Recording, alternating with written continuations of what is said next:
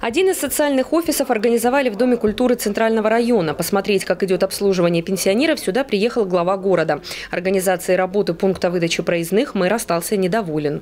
Есть проблема, мы, это только начало работы. Мы видим, что э, ту задачу, которую мы поставили, она решается.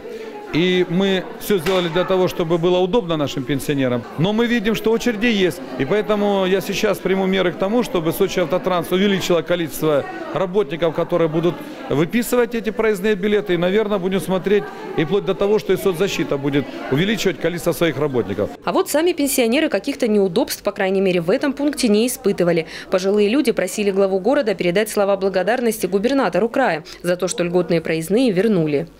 Кругом открыты пункты по всем районам, где выдают сразу справки на квартал.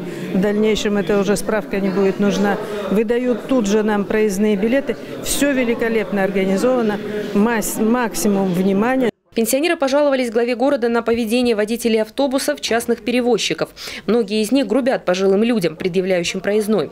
Анатолий Пахомов попросил о подобных фактах сообщать на горячую линию администрации города по работе транспорта по телефону 264 26 56. Можно отправлять и смс-сообщение на номер 8 918 665 26 65.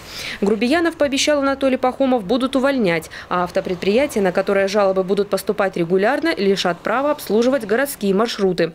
В первый день на пунктах выдачи проездных было многолюдно. В администрации города успокаивают. Социальные офисы будут работать 5 дней. А те, кто не успел получить проездной до конца месяца, могут обратиться в кассы Сочи Автотранса.